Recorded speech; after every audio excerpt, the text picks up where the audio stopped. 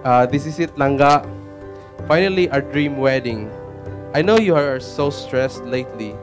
Many sleepless nights. Kulang pa ha, siya sa 12 hours na natulog, sige na lang. You planned everything sa wedding.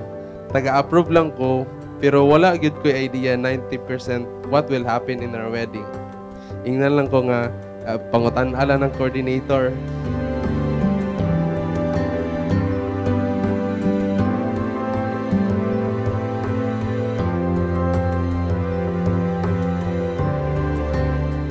You taught me to speak wisdom, especially in arguments.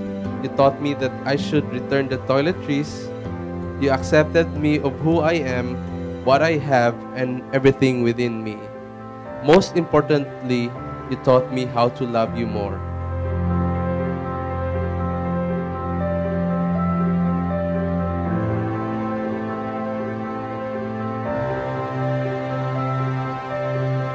Dart, being married to you has been a fun, wild, and exciting almost two years. The seemingly foolish, random stuff we do together has been one of the best part of being together with you. I really enjoyed every moment.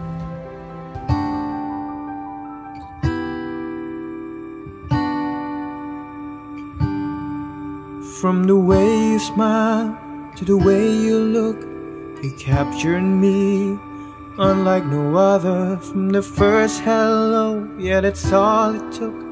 And suddenly we had each other, and I won't leave you. Always be true. One plus one, two for life,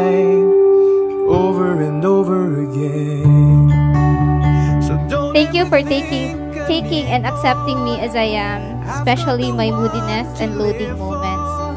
That's why ginapainom ko nimo og fish oil kay maka-improve lagi og mood swings. Thank you for being such a relaxing and calming presence in my life. You even out my craziness and make me normal. To hold you in your downest moments, to grow old with you, and last but not the least, to love you unconditionally. So, Kriszhia Andrea, will you marry me again? Girl, when I'm with you, I lose track of time. When I'm without you, you're stuck on my mind. Be all you need till the day that I die.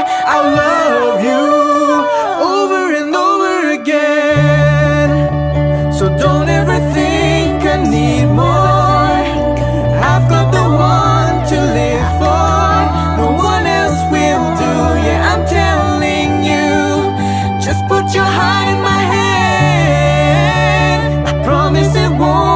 broken. We'll never forget this moment. It will stay brand new. Cause I love you over and over again.